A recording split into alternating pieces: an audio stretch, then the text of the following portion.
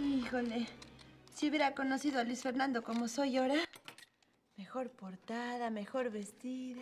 ¿Qué hubiera pasado, María? Ay, que a lo mejor no me hubiera agarrado de su burla. Lo que pasa es que yo era bien salvaje y, y creyó que conmigo se le iba a hacer rete fácil. Pero nunca se le hizo porque no me pudo dormir. Siempre anduve bien busa, caperuza. No se mete contigo, ¿verdad? No, mi Lupis. Ni él me habla, ni yo le hablo a él. Y, y además, como ahora se la pasa en la calle o jetón, pues casi no lo vicenteo. Sigues queriéndolo, chamaca. Gracias por comer con nosotros, hijo. Ojalá que papá no se ponga a molestarme. No, no lo hará. Bueno, con no hacerle caso o con responderle igual tengo más que suficiente.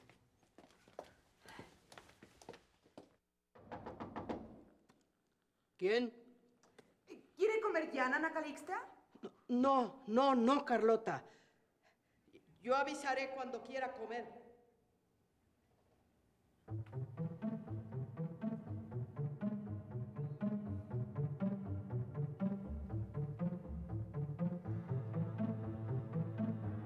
Qué milagro tenerte en la mesa, Luis Fernando. Yo estoy asombrada.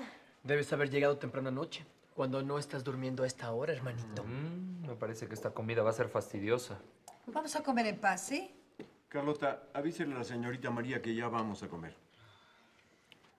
No puedo dejar de quererlo, Gualupita.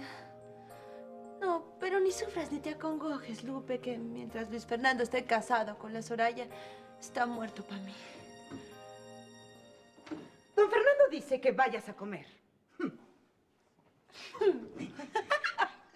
Ay, genio y figura hasta la sepultura, ¿a poco no?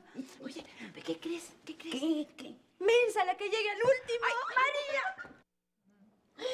¿De veras, tío Fernando? Sí, Soraya, compré el palco por toda la temporada. A ver si lo aprovechan. Yo no creo que vaya nunca. Fantástico, tío. Con lo que me gusta a mí la ópera y a Luis Fernando. Bueno, creo que a todos. María también puede ir. No, no, tío, yo tengo que estudiar y tengo hartas cosas que hacer. No puedo, no. ¿Cómo que no? ¿También te tienes que divertir? Es que se acuerda del ridículo que hizo la primera vez que fue a la ópera. Sí me acuerdo y no me avergüenzo de no saber un chorro de cosas. Pero no es por eso por lo que no voy. Ah, no. No le hagas caso, María. No voy por lo que ya dije. Tengo que estudiar. Es- aparte tengo que estar descansada para mi chamba. ¿Oyes bien, Luis Fernando? Para mi trabajo, ¿eh? Algo que tú pues, no conoces, porque nunca te lo enseñaron. Así como a mí nunca me enseñaron la educación. Te admiro por ese empeño y dignidad que pones en valerte por ti misma. Sobre todo pensando en lo que eras y en lo que te puedes llegar a convertir. ¿Qué onda? ¿Tengo que darte las gracias, Soraya? No, no, no. No es necesario. Pero no puedes olvidar que todo se lo debes al haber entrado en esta casa. El propio Luis Fernando te dio clases. No es cierto. Luis Fernando me agarró de su payasa. Pues lo sé. pues, Fui su hazme reír. Pero lo disculpo.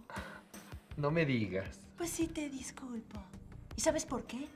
Porque eso me hizo ponerme a aprender. Y voy a seguir estudiando todos los días. Hasta llegar a ser lo que mi tío güero quiere que sea.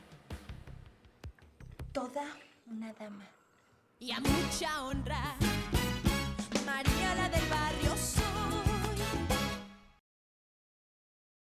Y a mucha honra. María la del barrio soy. María, voy a reposar un rato antes de regresar a la oficina. No te vayas a ir sin mí. Sí, tío, lo espero. Entonces, ¿de verdad no vas a ir a la ópera, María? Ya dije que no.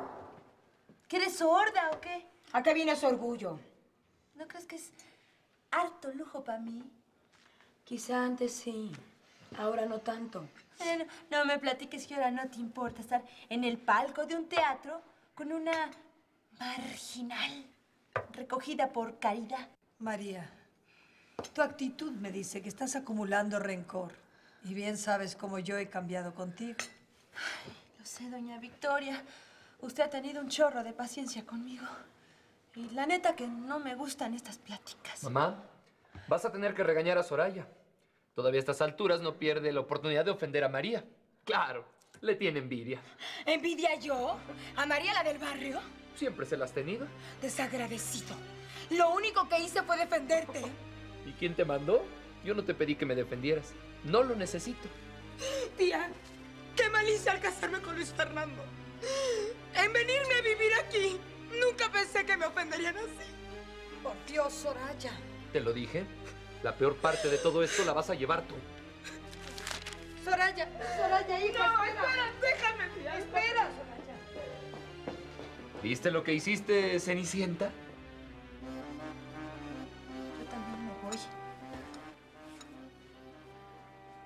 Permiso. Déjala. No te metas y no te rebajes tanto. ¿No ves que nunca le vas a interesar? ¿Acaso tú sí? Yo sí.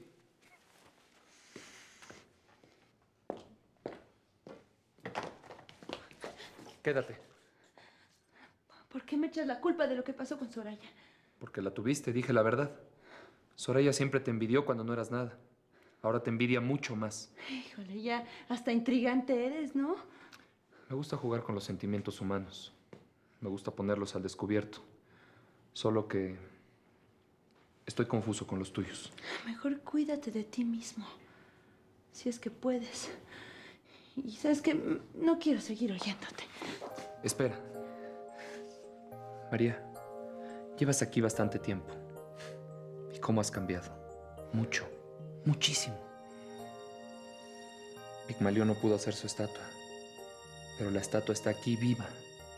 Y eso es lo que vale.